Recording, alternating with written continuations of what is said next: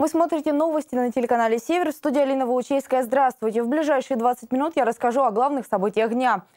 Новая экономическая ситуация в стране только укрепила отношения региона с нефтяными компаниями. Об этом заявил глава региона Игорь Кошин после подписания сразу трех стратегически важных для региона соглашений. Подписи под документами поставили губернатор Ненецкого округа, директора компаний «Башнефть-Полюс», нефтяной компании «Восток-Нау» и глава «Полярного сияния».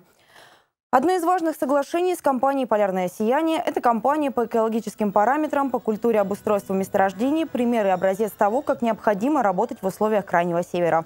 Кроме того, это та компания, на платежах которой в 90-е годы прошлого века никогда не было задолженности по выплатам пенсии и заработной платы. Было время, когда почти 80% окружной казны состояло из платежей этой компании. Сейчас «Полярное сияние» ежегодно отчисляет средства на социально-экономическое развитие.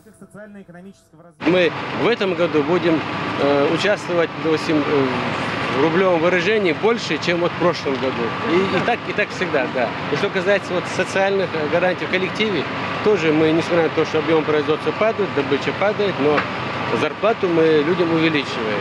И так намерены соответствовать таким вот ожиданиям округа. Также были подписаны соглашения с компанией «Башнефть-Полюс», «Лукойл-Коми» и их совместным предприятием «Восток-Нау». Компания пришла в Ненецкий округ сравнительно недавно, но уже участвует в реализации социальных программ в интересах всех жителей региона. Это сотрудничество, а также последовательные усилия администрации НАУ по созданию благоприятных условий для инвестиционной и производственной деятельности бизнеса вносят весомый вклад в социально-экономическое развитие округа. Компания является перспективной сегодня как раз э, проходят инвестиции в доразведку этих месторождений. И понятно, что сегодняшние инвестиции, они в лучшем случае отдадут отдачу через какое-то количество лет.